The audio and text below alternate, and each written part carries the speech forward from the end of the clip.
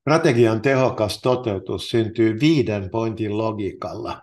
Gappi strategian ja tekemisen välillä poistetaan robustin tikapuun avulla. Kolme strategista fokusta jaetaan kukin kolmeen läpimurtotavoitteeseen.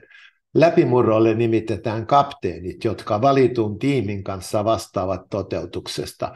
Läpimurron digitaulu visualisoi työn. Johtamisen fokus varmistetaan dedikoiduilla kokouksilla. Kuukausittaisessa kapteenien pöydässä käydään läpi kokonaisuus.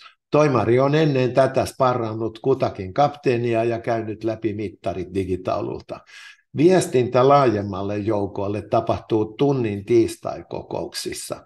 Strategia katselmoidaan kvartaaleittain ja päivitetään ketterästi tarvittaessa. Mitä on tapahtunut markkinoilla, mikä on johtopäätös meille ja strategialle. Näin voit varmistaa ja nopeuttaa strategian toteutusta.